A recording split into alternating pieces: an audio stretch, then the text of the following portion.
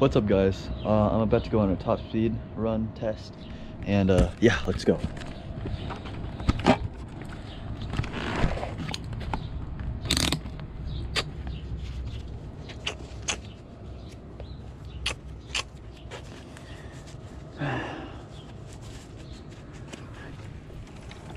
There we go.